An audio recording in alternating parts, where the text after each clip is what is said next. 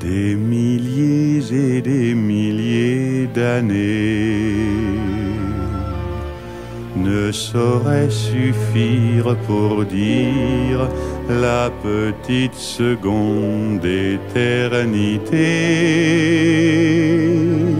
où tu m'embrassais,